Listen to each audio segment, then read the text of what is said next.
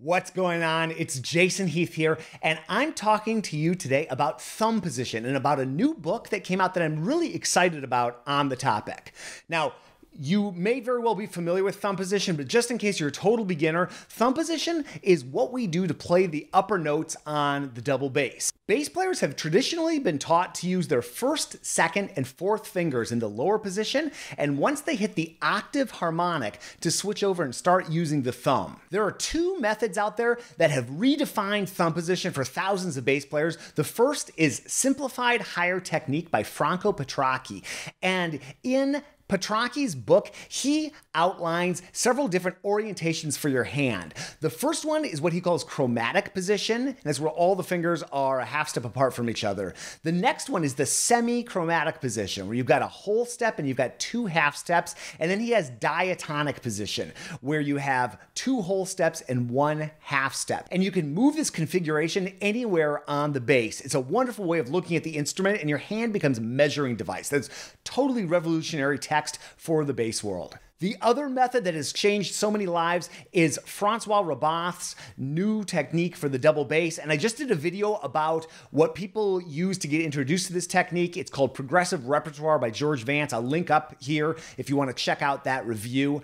But Rabbath divides the bass into six positions, and three of those positions are in thumb position. It's an amazing way to look at the instrument. It's Rabbath's fourth position, his fifth position, and his sixth position. They're all based around natural harmonics, and that completely changed the way I think about the bass.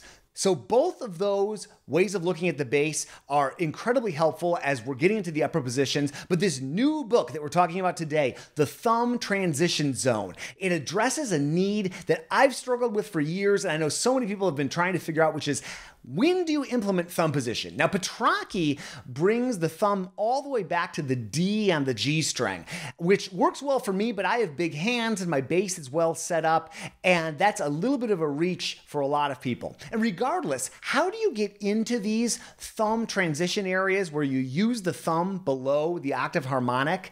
It's a real struggle, and it's something that Chris Kosky, who wrote the thumb transition zone, has really done a wonderful job of addressing. Okay, let's dive into the book. Here it is, thumb transition zone. And we've got a little introduction just kind of describing what this is all about and the different hand positions and shapes that you explore, very related to Petracchi. And here we go. So chapter one is the E position. This is putting the thumb on E, and it's all about getting into and getting out of E position. Very, very well thought out. Great exercises. I've played through all of them multiple times. Interval exercises, arpeggios, just really well conceived of. Chapter two is the F position. That's with the thumb on F. And again, similar idea.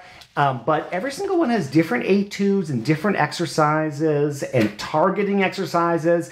She has you sing, which is super cool uh, and even has spots where you can stop and take a break. It's built into the music, uh, which I find helpful. I do take a break because these can be tiring when you're starting to work on these exercises. Chapter three is the F sharp position. So just like the others, your thumb's going to go on F sharp in a similar exploration of etudes and some are jazz etudes and tunes that Chris has created, and some of them are classical, and there's just a great variety. Chapter four is the E flat position, which Chris was originally not going to include because it's a bit more of an open position, but you can achieve this position just about anybody by rolling your hand. And Chris has a video describing what that is exactly, but it's just a way to open up to be able to reach these intervals. And like the others, explorations, exercises, targeting exercises, major and minor sketch. That's a really cool tune. Had a lot of fun doing that one. And then in chapter five, mixed positions and music. So you put it all together. These are really cool tunes that she wrote for this, uh, and lots of different characters. And chapter five gives you an opportunity to not only move around the bass, but also check out examples of repertoire. She starts off with classical repertoire, so many, many familiar pieces, and then jazz tunes.